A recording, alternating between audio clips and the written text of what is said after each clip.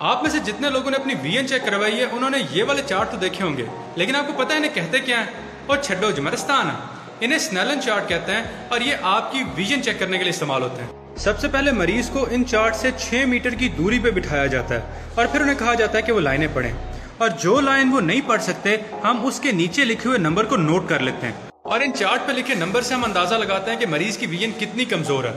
और उसी हिसाब से फिर आपको ग्लासेस दी जाती हैं ताकि आपकी विजन नॉर्मल हो सके।